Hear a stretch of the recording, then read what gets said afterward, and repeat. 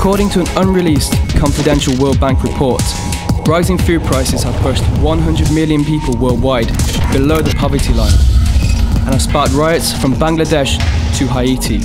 As warning bells began to sound over rising food prices, analysts were quick to name the culprits. Rising oil prices, the weakening US dollar, speculators' droughts, and the increasing appetite of developing countries were all blamed for triggering the spike in prices.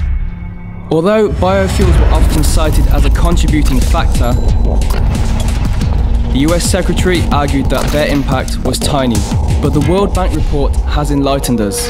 Biofuels caused 75% of the rise in food prices from January 2002 to February 2008.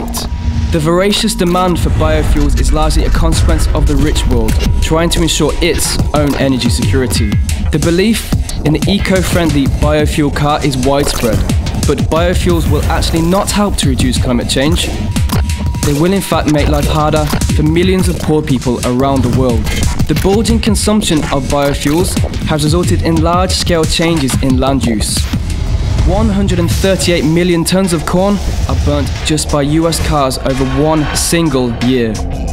The amount of corn used to fill one single American tank with bioethanol can feed a child for 365 days. Where should we put all the corn?